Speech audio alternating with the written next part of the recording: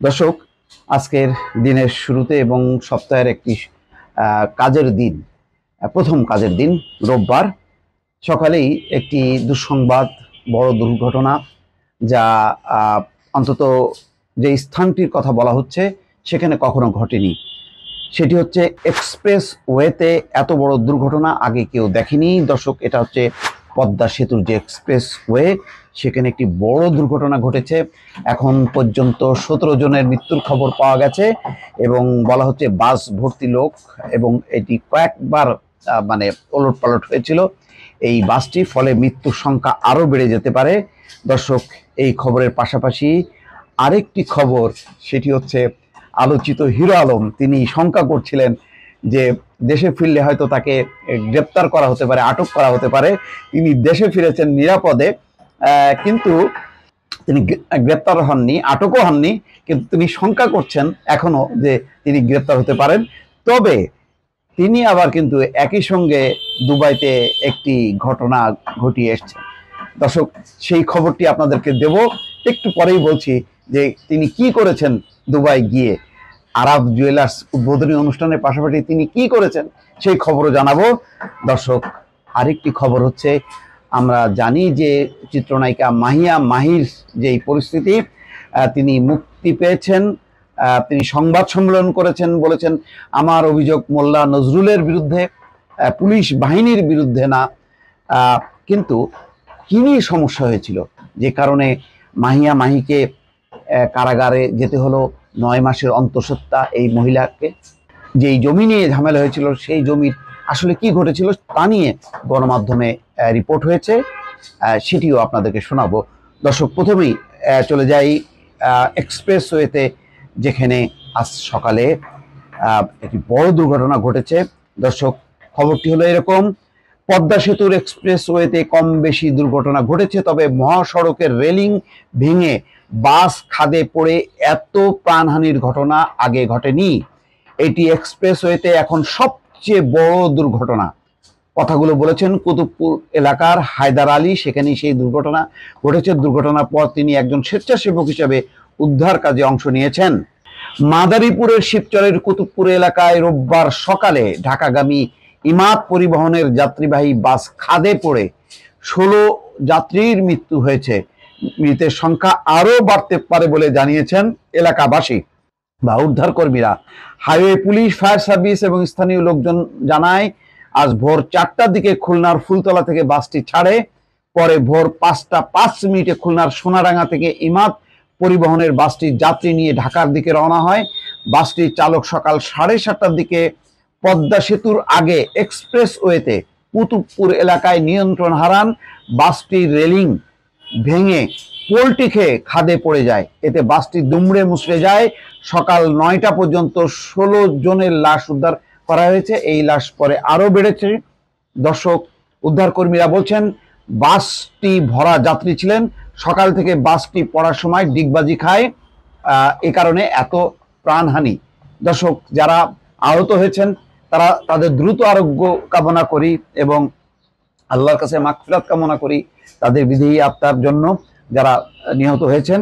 দর্শক জানি না এবং এখানে বলা হচ্ছে যে এই চালক অতিরিক্ত গতিতে এই গাড়িটি চালাচ্ছিল, যার ফলে এক পর্যায়ে তিনি নিয়ন্ত্রণ হারিয়ে ফেলেন। দর্শক, দেখবেন যে এই যত দুর্ঘটনা ঘটে, অধিকাংশ ক্ষেত্রে সড়কের দুর্বলতা আছে, সড়কের সমস্যা আছে কিন্তু চালকদেরও একটা বড় দায়িত্ব আছে। তারা যখন ফাঁকা কোনো রোড পায়, তখন এত গতিতে চালান যে ওই গাছ, ওই বাসটি যদি নিয়ন্ত্রণ করতে হয়, তখন কীভাবে নিয়ন্ত্রণ করবেন তিনি জানেন না। ফলে এই ঘটনাটি ঘটেছে? দর্শক, এরপরও নিশ্চয়ই সড়ক পরিবহনের নেতারা স্বীকার করবেন না যে তাদের চালক বা ড্রাইভারদের কোনো দোষ আছে। কিন্তু এই প্রাণহানির ঘটনা, এই ধরনের ঘটনা ঘটতেই ঘটেই যাচ্ছে এবং এটি মানে কোনোভাবেই নিয়ন্ত্রণ করা যাচ্ছে না এই সব পরিস্থিতি। দর্শক, চলে যাচ্ছি পরের খবরে। পরের খবরটি হচ্ছে, দুবাই থেকে দেশে ফিরেছেন হিরো আলম। হিরো আলমের একটি খুবই নাটকীয় ছবি। দর্শক, দেখুন, মরুভূমিতে কীভাবে শুয়ে আছে। দেশে এত হইচই হচ্ছে হ্যাঁ? হিরো আলমকে জিজ্ঞাসাবাদ করা হতে পারে, কিন্তু তিনি ঠিকই কিন্তু ঘটনা ঘটিয়ে এসছেন। এই দেখেন, ছবিটি দেখতে পাচ্ছেন? এই তার প্রমাণ। খবরই আছে আচ্ছা আমি পরে বলি, আগে খবরটি বলি যে তিনি যে দেশে ফিরলেন। পুলিশ কর্মকর্তা খুনের মামলার আসামি রবিউল ইসলাম ওরফে আরাফ খানের সোনার দোকানের উদ্বোধনী অনুষ্ঠানে অংশগ্রহণ শেষে সংযুক্ত আরব আমিরাতের দুবাই থেকে দেশে ফিরেছেন বগুড়ার আলোচিত আশাফুল হোসেন ওরফে হিরো আলম। আসলে কি তিনি শুধু বগুড়ার, বগুড়ায় নির্বাচন করেছেন বলে কি তিনি বগুড়ার হিরো আলম? নিশ্চয়ই না। তার নাম সবাই জানে। তিনি এখন মোটামুটি খুব বড় মানেরই একটা তারকা বলা যায়। এমিরেটস এয়ারলাইন্সের একটি বিমানযোগে রোববার সকাল আটটা দশ মিনিটে হিরো আলম ঢাকায় শাহজালাল আন্তর্জাতিক বিমানবন্দরে এসে পৌঁছান।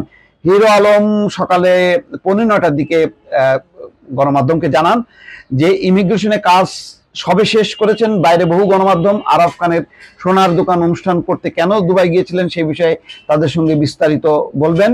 গ্রেপ্তার আতঙ্কে আছেন কিনা জবাবে জানান। অবশ্যই গ্রেপ্তার আতঙ্কে আছি। বাসায় না পৌঁছা পর্যন্ত আতঙ্ক কাটবে না। তিনি বলছেন, দুবাই থেকে বিমানে রওনা করার আগে গতকাল শনিবার বিকালে দুবাইয়ের মরুভূমিতে পবিত্র রমজান উপলক্ষে নিজের গাওয়া ইসলামিক গানের মিউজিক ভিডিওর শুটিং শেষ করেছেন তিনি।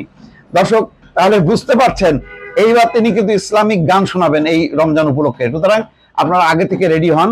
তার মিউজিক ভিডিও নিয়ে, গান নিয়ে, রবীন্দ্রসঙ্গীত গাওয়া নিয়ে রীতিমতো ডিবি পুলিশ তাকে জিজ্ঞাসাবাদ করেছে, তাকে তুলে এনে এবং মুসলেখা দিয়ে ছাড়া পেয়েছেন না জানি এবার ইসলামিক গান গাওয়া নিয়ে কি পরিস্থিতি হয়, আগেই বলে রাখছি। আচ্ছা যাক, হিরো আলম বলছেন, ভক্তদের কথা দিয়েছিলাম, আসছে পবিত্র মাহে রমজানে তাদের জন্য চমক হিসাবে আমার গাওয়া ইসলামিক গান থাকবে। হিরো আলম বলেন, আমি পেশাদার কণ্ঠশিল্পী নই, চেষ্টা করছি ভালো কিছু উপহার দেওয়ার জন্য, আশা করছি এই গান নিয়ে কেউ ট্রল করার সাহস পাবে না। অর্থাৎ খুব কনফিডেন্ট যে তার এবারে ইসলামিক গান গাওয়া নিয়ে কেউ ট্রল করবে না। আসলে কি তাই? সেটা কি হবে?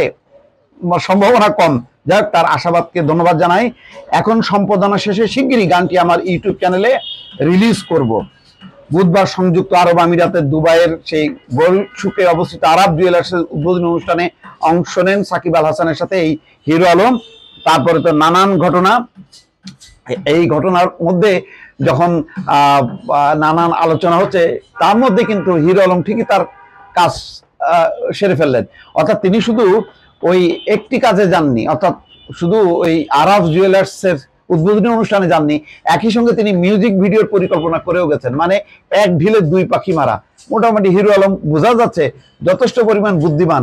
সাকিব আল হাসান যেমন শুধু ওই অনুষ্ঠানে শেষ করে তাড়াতাড়ি এসে আয়ারল্যান্ডের আবার খেলার মধ্যে ঢুকে গেলেন এখানে কিন্তু দেখা যাচ্ছে যে না, হিরো আলম আবার ঠিকই তার আরও একটা কাজ শেষ করে আসছেন। যাই হোক, আমরা সাধুবাদ জানাই। স্বাভাবিকভাবে বারবার তো দুবাইতে যাওয়া সম্ভব না। আর একটা বড় উপলক্ষ, এভাবেই মানুষ পরিকল্পনা করে রদ দেখা, কলা বেচা একই সাথে যাতে হয়ে যায়, সেভাবেই হয়তো করেছেন। দর্শক, চলে যাচ্ছি পরের খবরে। পরের খবরটি হচ্ছে, যে জমি নিয়ে ঝামেলায় মামলা গ্রেপ্তারে জড়ালেন মাহিয়া মাহি। আসলে মাহিয়া মাহির নামটা আসছে তার স্বামী রকিব সরকারের নামটা কেন আসছে না জানি না। ঝামেলাটা কিন্তু ওই রকিব সরকারের ব্যবসা বাণিজ্য নিয়েই। স্ত্রী হিসাবে এখন যেহেতু প্রভাবশালী নায়িকা বা তিনি আওয়ামী লীগের নেত্রী দলের সাথেও সম্পর্ক, ক্ষমতার সম্পর্ক, সুতরাং পুরো ঝক্কি, ঝামেলা, ঝড়, ঝাপটা সবই কিন্তু মাহিয়া মাহির উপর দিয়ে আছে। আর রকিব সরকার মোটামুটি বসে বসে এখন তো সে সুবিধাটাই নিচ্ছে আর কি বলা যায়। স্বার্থপর স্বামী বলা যায়। যা করার কিছু নেই এটা। স্বাভাবিক, আমি জাস্ট ফান করলাম। কাউকে ছোট করার জন্য বলি নাই। এখন একটি রিপোর্ট এসছে প্রথম আলোতে। সত্য, মিথ্যা যায় না, দর্শক বলে রাখি। তবু আপনাদেরকে ঘটনাটা একটু জানানোর জন্য আসলে উল্লেখ করছি। এখানে বলা হচ্ছে, গাজীপুরের মহানগরের ব্যস্ততম আউটপাড়া এলাকায় প্রায় পাঁচ কোটি টাকা মূল্যের জমি নিয়ে দীর্ঘদিন ধরে বিরোধ চলে আসছে রকিব সরকার ও ইসমাইল হোসেনের মধ্যে। সেই বিরোধকে কেন্দ্র করে হামলা চালিয়ে ভাঙচুর করা হয় রকিবের গাড়ির শোরুম। ঘটনার প্রতিবাদ জানাতে রকিবের স্ত্রী চিত্রনায়িকা মাহিয়া মাহি ফেসবুক লাইভে এসে পুলিশের বিরুদ্ধে নানা অভিযোগ করলে বিষয়টি জনসম্মুখে আসে। রকিব ও মাহির বিরুদ্ধে পুলিশ ডিজিটাল নিরাপত্তা আইনে মামলা করে। মামলার পরপরই এই গ্রেপ্তার নিয়ে নয় মাসের অন্তঃসত্ত্বা মাহিয়া মাহিকে কারাগারে ঢুকানো নিয়ে এটি সমালোচনার মধ্যে পড়ে যাক সরকারের এটি বিচক্ষণতা বা দক্ষতা, আমি বলব, ধন্যবাদই জানাতে হয়। যারই নজরে পড়ুক না কেন, নিশ্চয়ই উচ্চ পর্যায়ের হস্তক্ষেপে খুব দ্রুতই তাকে যে জেল থেকে রিলিজ করেছে, এটা খুব ভালো। এবং এটি নিয়ে কিন্তু চিত্রাঙ্গনের জয় আহসান দেখলাম, বেশ প্রতিক্রিয়া দিয়েছে আরও কয়েকজন দিয়েছে, কিন্তু নিপুণ বুঝলাম না কেমন নেত্রী হলেন সেই এক নায়ককে যিনি সালমান খান হতে চাইছিলেন। তো তার জায়গায় তিনি বসলেন, কিন্তু খুব জোরালো কোনো ভূমিকা পালন করলেন না, কেন করলেন না জানি না। যাক, এলাকাবাসীর ও দুই পক্ষের স্বজনদের সঙ্গে কথা বলে জানা গেছে যে গাজীপুর মহানগরের ঢাকা টাঙ্গাইল মহাসড়কের উত্তর পাশে ইটাহাটা মৌজাই দিঘির চালা এলাকায় হাজি নুরুর ছেলে ইসমাইল হোসেনের নামে সাড়ে বত্রিশ শতাংশ জমি আছে। এই জমিতে তৈরি করা স্থাপনা মাসে এক লাখ আশি হাজার টাকা ভাড়া দিয়েছিলেন স্টিল কিং নামের একটি প্রতিষ্ঠানের কাছে। ইসমাইল ওই প্রতিষ্ঠানের কাছ থেকে জামানত নিয়েছিলেন এক কোটি পাঁচ লাখ টাকা। বছর পাঁচেক আগে মাহিয়া মাহি স্বামী রকিব সরকারের বংশের আব্দুল খালেক সরকারের ছেলে মামুন সরকার, সুমন সরকার ও বাবুর কাছে ইসমাইল জমির তিনটি অংশ বিক্রি করে ফেলেন। নিজের দখলে নেন সোয়া এগারো শতাংশ জমি। এক পর্যায়ে ওই জমির পেছনের অংশে ভবন করার পরিকল্পনা করেন তারা চারজন। এই অবস্থায় পেছনে অংশের স্থাপনা সরিয়ে জায়গাটি খালি করে ফেলেন।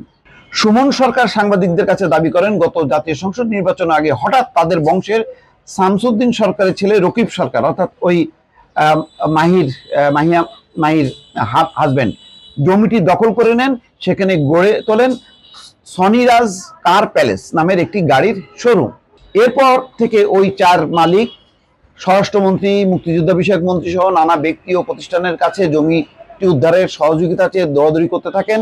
এই জমির মালিকানা দাবি করে রকিব সরকার আদালতে মামলাও করেছিলেন। আদালত তাদের পক্ষে রায় দেয়, অর্থাৎ সুমন সরকারের পক্ষে রায় দেয়। রকিব সরকারের পক্ষে রায় দেয়নি। ইসমাইল হোসেন দাবি করেন, রকিব সরকার ওই জমির, ওই জমি দীর্ঘদিন ধরে জবর দখল করে রাখেন, অর্থাৎ রায় সত্ত্বেও জবর দখল করে রাখেন। বিষয়টি মীমাংসার জন্য দফায় দফায় চেষ্টা হয়েছে। এরই মধ্যে গত বৃহস্পতিবার মধ্যরাতে আমদানি করা নতুন কিছু গাড়ি রকিব সরকারের লোকজন শোরুমে উঠাতে থাকেন। খবর পেয়ে তারা ঘটনাস্থলে ছুটে যান। তখন রকিবের লোকজন তাদের উপর হামলা চালান। রকিবের লোকজন নিজেরাই শোরুম ভাঙচুর করেন। এরপর স্বামী রকিব সরকারের সঙ্গে ওমরা পালন করতে যাওয়া মাহিয়া মাহি শুক্রবার ফেসবুক লাইভে এসে পুলিশ সহ নানা জনের বিরুদ্ধে অভিযোগ করেন। যাই হোক, বোঝা যাচ্ছে একটা বিতর্কিত অবস্থা। এখন রায় কি হয়েছে? এখানে সুমন সরকার অর্থাৎ ওই রকিব সরকারের প্রতিপক্ষ তারই বংশের, বাকিরা সঠিক নাকি রকিব সরকার সঠিক অবস্থান আছে? বিষয়টা আমার কাছে পরিষ্কার না। এটা হয়তো পক্ষপাত, দুষ্ট একটা রিপোর্টও হতে পারে, নাও হতে পারে। কিন্তু জমির